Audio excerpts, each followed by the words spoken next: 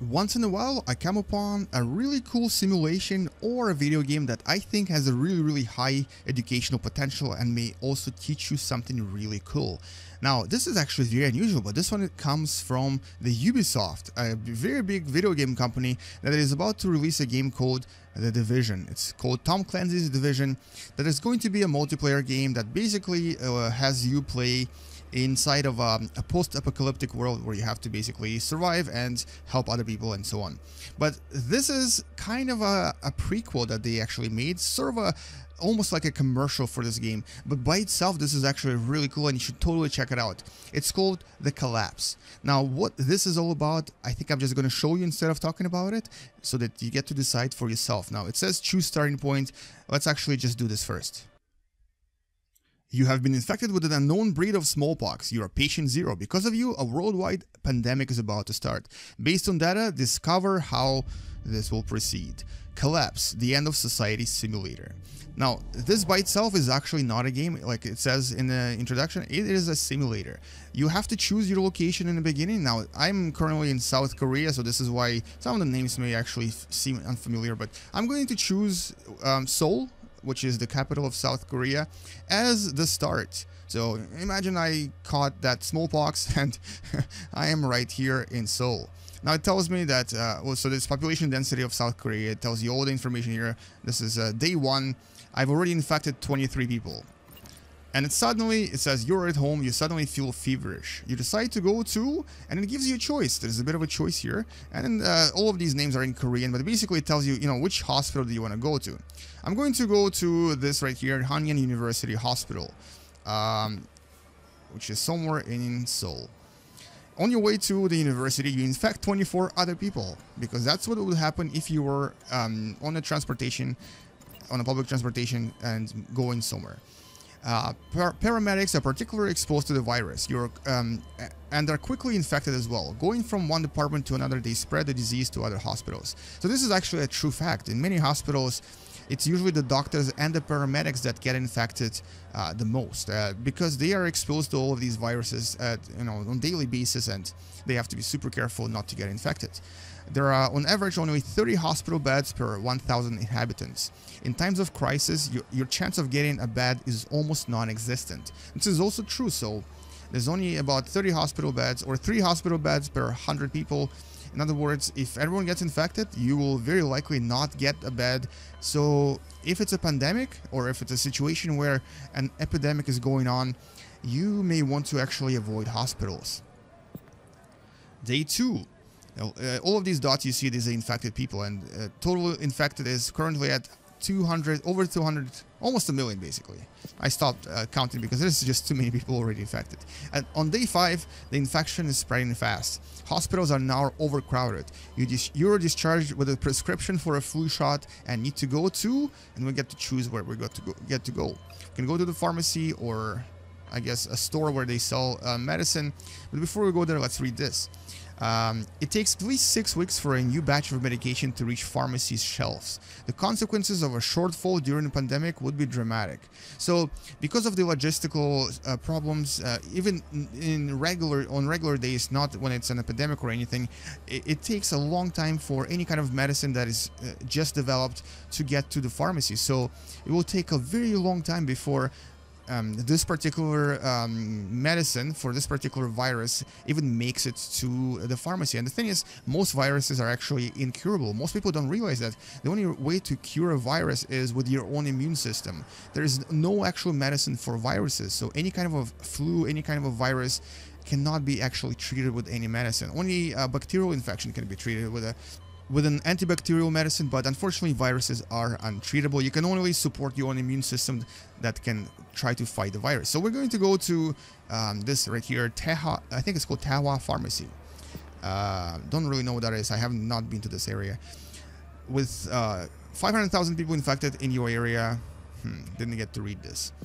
Um, all right, so because of, uh, of the dangerously increasing number of infected people, the authorities are organizing vaccine distributions. You decide to go to the nearest venue. Um, fact here is that we are only capable of producing 2.4 billion flu vaccines per year. Experts estimate that such a virus could spread to all 7 billion humans in just a few months. Now, there was a video game I reviewed very recently called Plague Inc. that actually allows you to play as a virus and your goal is to basically destroy the humanity and even in that game you can kind of uh, pretty much destroy everyone or kill everyone within um, months and it's not very difficult to do because um, epidemics and viruses and the bacteria they actually spread really really fast as this game demonstrates. Alright so where we're going to go? Well let's go to oh public TV studio sure why not uh, because I guess we have no medicine. We're going to go watch a movie instead. We're going to go really far and we'll reach another area. Thousands of frightened people are, are amassed near the distribution points. Um, so this is, I guess, the closest distribution area. Police forced to intervene as the situation is heating up. Um, the virus has taken its first victims. First people die and people are starting to uh, people are starting to die. The state of emergency has been declared. You decide to go to the supermarket to buy enough food so you can barricade yourself in. So this is normally what would happen. People would panic. They would try to stay at home. They would try to buy as much food as they can. And um, the average household only stocks a maximum of three days of um, food, uh, three days worth of food provisions. Uh, in my household, I think it's even less because I I do eat a lot. Uh, anyway, supermarket, where are we gonna go? So let's go to this first one. I'm not even gonna try to say that. Uh, it's a supermarket nearby. Looting uh, starts to take place, uh, food being the most stolen item. So all of this is actually very realistically represented, um, especially based on um, various riots that we actually did have in real life. Uh, 2 million infected, 180,000 dead. Um, riots are breaking out, police forces are now outnumbered the streets are set ablaze. So this is only within days, day 9. The city is no longer safe, you have to escape. From Gimpo International, which is actually an, air, an airport, you decide to take a flight to where we're going to go. So time to escape the country. With more than 8 million passengers a day, planes are the main catalyst of infection. And that's actually how many viruses actually usually spread. Uh, for example, viruses like SARS spread through airplanes from Hong Kong to many different countries, including my home country of Canada. It was there within days after the first infection um, in, in Hong Kong. And more recently, a virus called MERS, which stands for uh, Middle East uh, Respiratory Syndrome, actually spread to South Korea and uh, caused a lot of fatalities in the country. And actually, it did come by airplane from a tourist that visited Saudi Arabia. And so, where are we going to go? Well, let's actually go to... Um, let's go to China. Why not? Let's go to Beijing capital. We're moving to Beijing as people are dying. We'll... And there we go from Korea to China. And look at that. Look at how many infections around the world started to occur. Day 10 and people are basically infected. You can actually move this around to explore the infection around the world as it lands in other countries. Flights accelerate the spread of the infection. Many countries choose to close their borders. Martial law is established as lootings and riots are now a global phenomenon. The official death toll reaches 938,696 people. In 2013, there were 27 million military personnel in the world. That's only 3.8 soldiers per thousand civilians. I'm not sure why this is here actually. Uh, th these are all randomly generated. I actually, this is not my first time trying this and the last time I had something more relevant to this particular situation. But I guess it tells you that there's not enough military around the world, which is why the countries lost control. Going to go to the next part. And situation is out of control. Law enforcement is completely overwhelmed. Soldiers are seen abandoning their positions. You can see the entire Asia is now orange Afraid of getting killed, people stay at home with no one to maintain the infrastructures.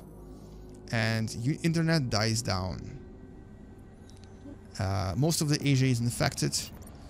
Chaos is everywhere. Work absenteeism now exceeds 50%. This means that people don't go to work anymore. The first nuclear power plants have stopped running, which means there is no more energy because a lot of our nuclear power, I believe uh, something like 50% of nuclear power in South Korea is, is from um, oh, so, sorry, just energy in general is actually from nuclear power.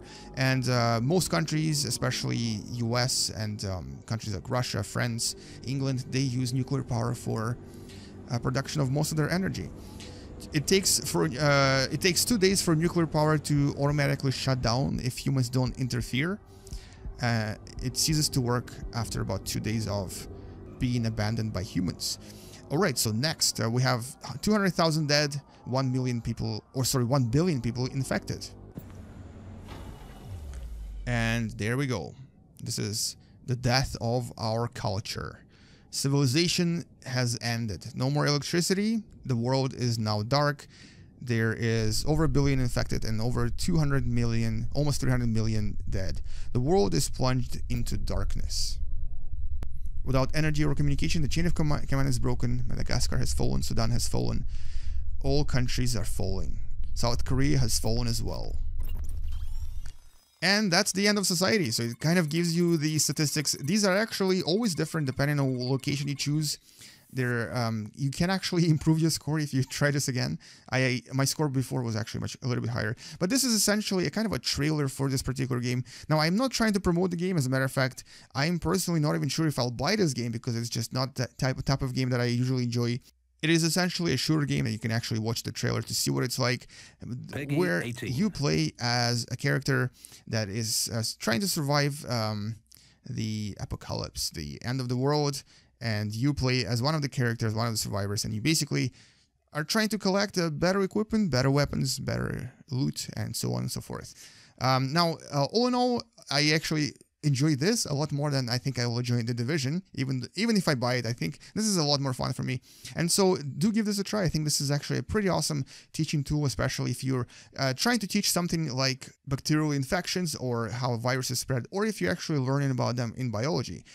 And if you want to try this yourself, or if you want to beat my score, which actually was 669,000 dead. If you want to beat that, uh, try this yourself. The link for this is in the description below. Let me know what score you get, and uh, let me know if you actually are able to kill everyone, because I don't know if that's even possible. Not that I'm promoting that, but it'd be fun if you can actually destroy the entire Earth, or at least get to uh, 7 billion people dead.